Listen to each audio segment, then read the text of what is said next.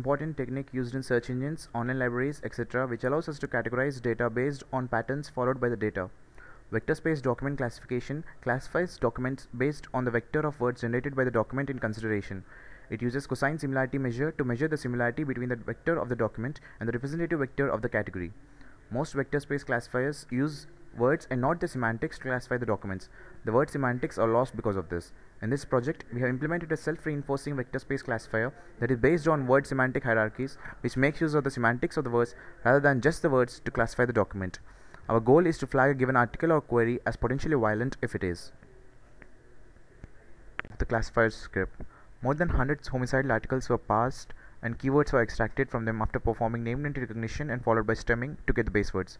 We are now passing the argument how to kill a person to a classifier.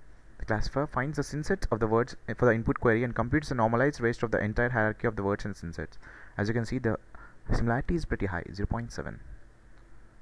Now, when we change the query to hello world, as we can see, if a non-threadful query is given to the classifier, the similarity measure drops down drastically as we have expected.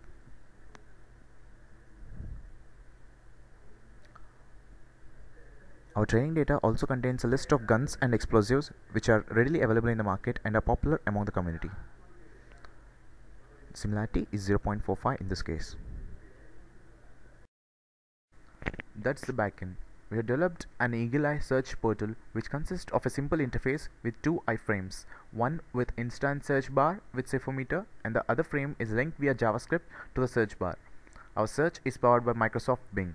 The Sefometer is linked to the Python classifier demonstrated previously via Python CGI.